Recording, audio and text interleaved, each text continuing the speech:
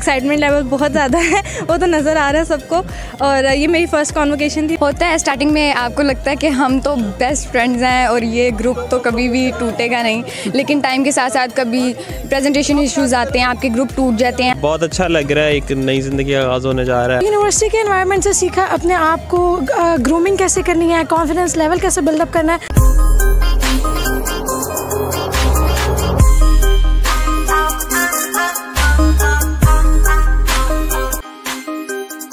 आज आपको डिग्री मिली है आप ग्रेजुएट हुई हैं तो आपको कैसा फील हो रहा है? कितनी एक्साइटमेंट है? एक्साइटमेंट लेवल बहुत ज़्यादा है वो तो नज़र आ रहा है सबको।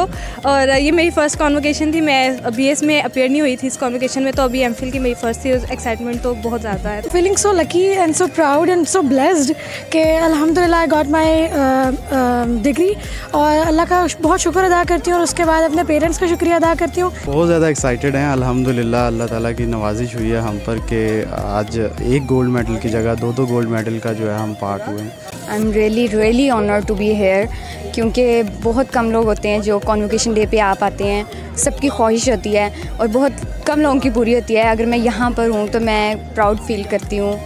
Thanks to Allah and thanks to my parents sir आप अपना ये गोल्ड मेडल है ये किसको डेडिकेट करना चाहेंगे? ये एक तो जो हैं कुछ हमारे टीचर्स हैं। जो कि मेरे फेवरेट भी हैं और जो जिन्होंने काफ़ी ज़्यादा सपोर्ट किया है हमें और घर वालों की सपोर्ट बहुत अच्छा लगता है एक्साइटेड भी हूँ प्राउड भी हूँ क्योंकि पीयू जो है जब कॉन्वोकेशन ऑफिशियल होती है तो सब नहीं आते सिर्फ़ क्लास के टॉपर्स आते हैं तो इसलिए काफ़ी प्राउड फील हो रहा है और एक्साइटेड भी हूँ आगे के लिए। आप टॉपर हैं क्लास की? नहीं आई गॉट थर्ड पोजिशन बहुत अच्छा लग रहा है एक नई ज़िंदगी आगाज़ होने जा रहा है प्रैक्टिकल लाइफ और स्पेशली गोल्ड मेडल का अल्लाह ताला का बड़ा शुक्र है कि अल्लाह ताला ने मुझे इससे नवाजा है। ऑब्वियसली बहुत अच्छा फील हो रहा है और कुछ लगे कुछ मिल गया है हाथ में लाइक कुछ स्किल आ गई है कोई पीस ऑफ़ पेपर नहीं है ऑब्वियसली हमारे दो सालों की मेहनत है तो बहुत अच्छा लग रहा है मुझे वेरी एक्साइटेड नॉर्मली यूनिवर्सिटी के स्टार्ट के दिनों में स्टूडेंट्स की अंडरस्टैंडिंग बहुत अच्छी होती है बट टाइम बाई टाइम वो अंडरस्टैंडिंग उस तरह की नहीं रहती। इसके पीछे क्या रीज़न है? अच्छा मेरा एक्सपीरियंस इसमें टोटल अपोजिट है। मेरा यूनिवर्सिटी में मुझे छः साल हो गए इस यूनिवर्सिटी में पढ़ते हुए और मेरे डे वन से जो फ्रेंड्स थे वो अभी भी मेरे साथ हैं और इन आइंदा भी हम साथ ही रहेंगे।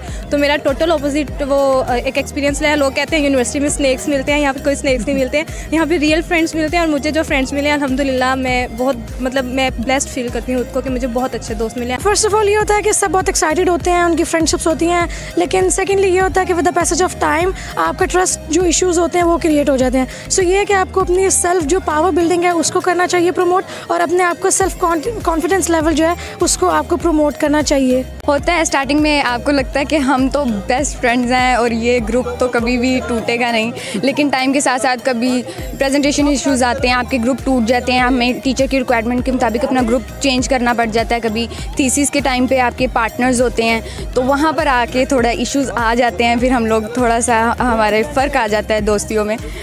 लेकिन मैं अगर अपनी बात करूँ तो हम जो फ़र्स्ट डे से फ्रेंड्स थे, अभी तक हम हैं, ये भी बहुत हम लकी कहूँगी मैं अपने आप को कि हम बहुत लकी मेरा तो एक्सपीरियंस अच्छा रहा है, जो मेरी फ़र्स्ट डे फ्रेंड्स बनी थी वही अभी तक हैं। लेकिन ऐसा होता है कि ग्रुप्स टूटते हैं और लोगों की असलियतें पता चलती हैं तो आपके ग्रुप्स भी टूट जाते हैं। अच्छा मेरे साथ अपोजिट हुआ है। डिग्री के स्टार्ट में बिल्कुल अच्छी अच्छी थी और वो ग्रेजुअली आते आते और अच्छी हो गई और अब हम लोग जब ग्रेजुएट हो गए तो वो अंडरस्टैंडिंग ऐसी है कि हम लोग शायद मेरी जो फ्रेंड्स हैं they are like my sisters मेरी बहनों की तरह। तो हमारी हमारी जो बॉन्डिंग है वो ज़्यादा स्ट्रॉन्ग हो गई डिग्री के बाद।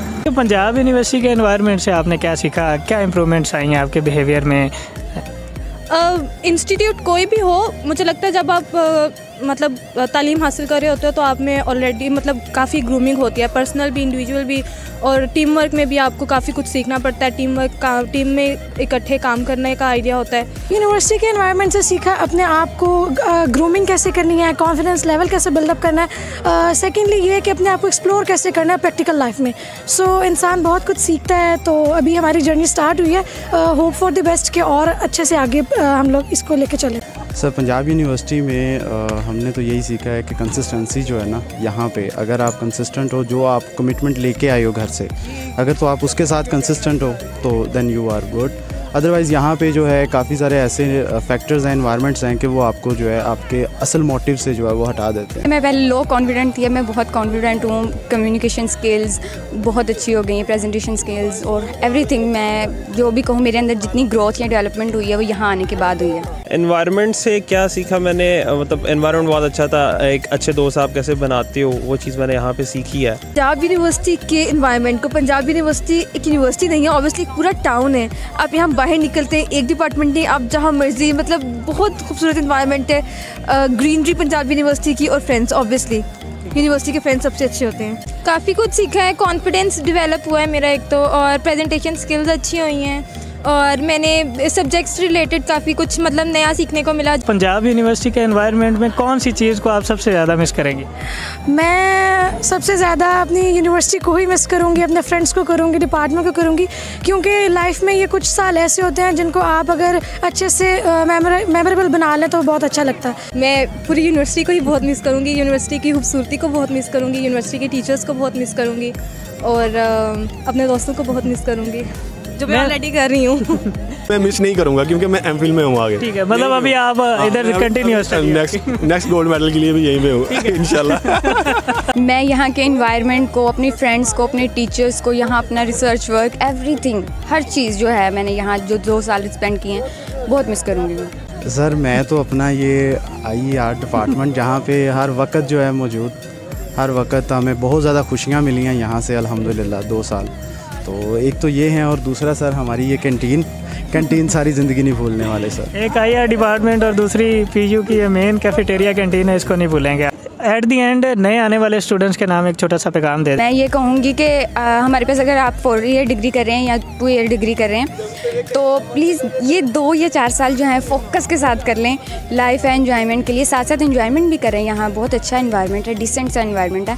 और फोकस के साथ और trust on yourself on देखें अपना क्वालिटी टाइम जो है वो आपको हर जगह लाइक उसको यूटिलाइज़ करना चाहिए। स्टडी के टाइम आपको स्टडी पे ही टाइम फोकस देना चाहिए।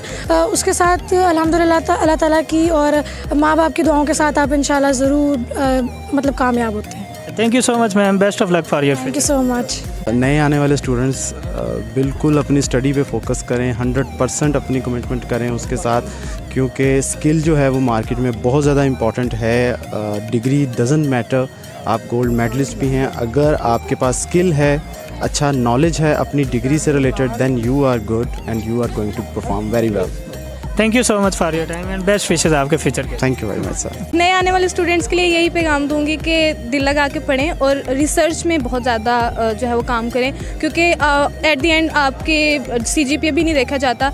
अगर बात करें तो सी जी पी भी नहीं देखा जाएगा आपकी कोई भी वो क्वालिफिकेशन को इतना मैटर नहीं करती जितनी आपकी रिसर्च मैटर करती है. तो रिसर्च पे रिसर्च के हवाले से जो है उसमें काफ़ी ज़्यादा आपको मेहनत करनी चाहिए उसमें अपना नाम बनाएँ. मैम बेस्ट विशेज़ आपके फ्यूचर के लिए and thank you so much for your thank you